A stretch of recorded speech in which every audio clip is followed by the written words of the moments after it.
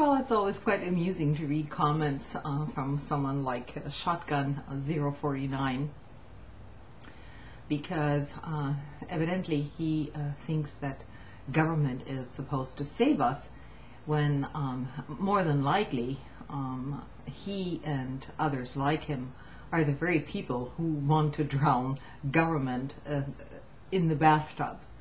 So um, I'm not sure what to say about it other than saying that uh, these people are not very well informed to begin with and they're voting against their own interest uh, all along. So it's basically ridiculous to say that the government is going to save you when you have voted big government uh, into office. Look what has happened in our government today. Our budget, the federal budget, has never been higher than during this administration. And so this is someone who trusts in big government but votes against it um, in the voting booth, probably.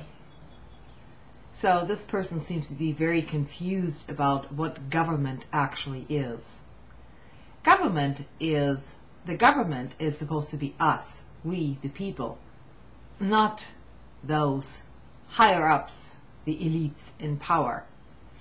Of course, that has always been uh, somewhat of a pipe dream, but uh, this person actually seems to believe in this fairy tale that uh, we, the people, can do nothing, and oh, the the big elites and the very smart people are looking out for us all.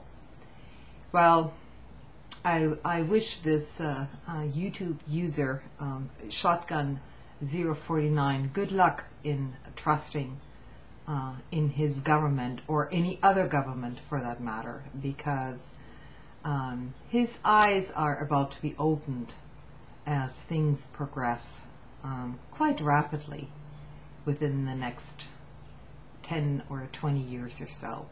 Maybe he will change his mind. And, you know, maybe that's what it'll take for other people to change their minds as well big bureaucratic government has never been the goal of those trying to elect their representatives into government. Sure, there have to be people who are following the issues because none of us in our daily lives uh, have enough time to do that. That's why we choose representatives. So we have a republic and a supposedly representative government. But when that government, this representative government, becomes corrupted by other interest groups, namely big industries and the corporate military industrial complex, then they are not our representatives any longer. And therein lies the problem. So if uh, shotgun 49, uh, 049, can't see that by now, um, I suppose uh, we can't convince him or her of that um, until things get bad enough to where he sees where big corporate government will lead us. Okay, that's it for tonight. Bye.